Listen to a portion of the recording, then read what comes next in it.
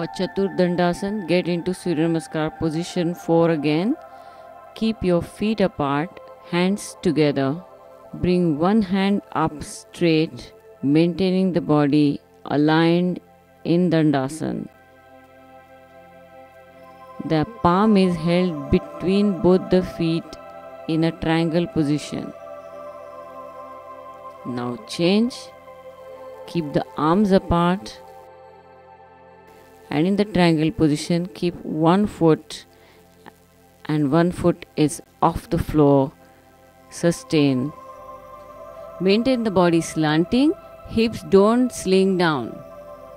Your neck, head, back, hips, leg aligned. Change, do it with the other leg.